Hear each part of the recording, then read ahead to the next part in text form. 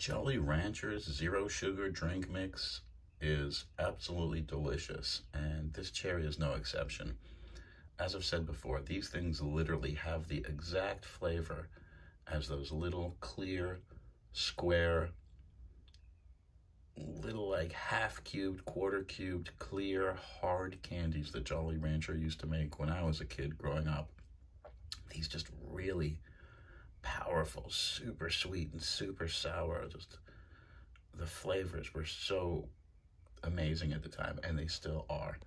One thing I love about this is it's a no sugar option. Sugar is obviously a drug. None of us need it. It shouldn't be in any of our foods, but let's see what's really making it sweet. Let's see what's in here.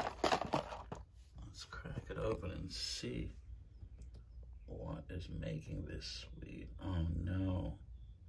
It's artificial flavors and colors. It's not like honey or agave or beetroot. They could have used so many options to uh, to make this sugar-free and caffeine-free naturally instead of aspartame and citrate and maltodextrin and so forth. I mean, there are natural sugar alternatives. You don't have to use hydrogenated starch, hydrolysate, malitol, sorbitol. I mean, this stuff does taste incredible. It really went super unnatural with the ingredients, which is a disappointment because I do love Jolly Rancher's flavors.